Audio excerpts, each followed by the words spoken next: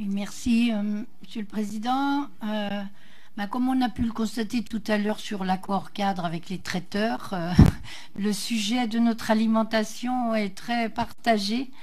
L'origine et la qualité de ce qui est préparé et servi dans nos assiettes, que ce soit dans les cantines, les restaurants ou dans nos cuisines et les entreprises, est une préoccupation et une inspiration majeure, et d'ailleurs une tradition largement partagée.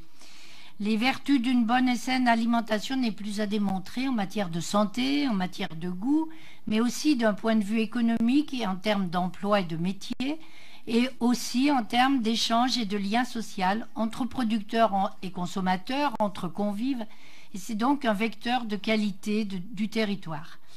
Agriculture maraîchère et urbaine, jardin individuel et partagé, nos territoires ont tous des atouts tous les atouts et les terroirs pour produire plus, pour produire mieux, pour créer des filières économiques non délocalisables. L'alimentation et l'agriculture sont des leviers majeurs dans le plaidoyer pour la cause climatique dont nous subissons déjà des bouleversements considérables, ici plus qu'ailleurs. Mais nous en reparlerons plus longuement tout à l'heure. Le transport lié à notre alimentation représente une grande part des émissions de gaz à effet de serre.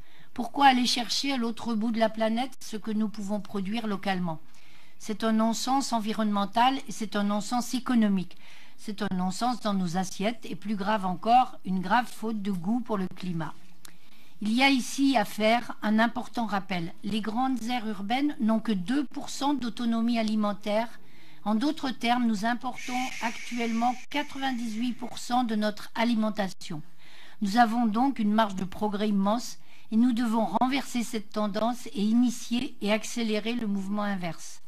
Notre métropole, comme nos communes, sont et seront encore plus à l'avenir des acteurs majeurs pour engager les transitions nécessaires par la création et l'accompagnement de filières pérennes agricoles et alimentaires pour nourrir petites et grandes et petits et grands métropolitains en pesant de notre rôle de commanditaire.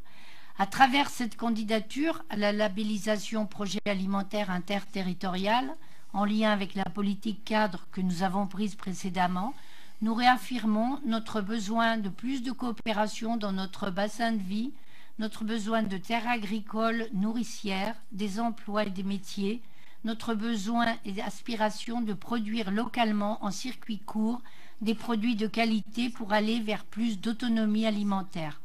Donc évidemment, notre groupe Métropole en transition soutient et soutiendra pleinement cette démarche. Je vous remercie.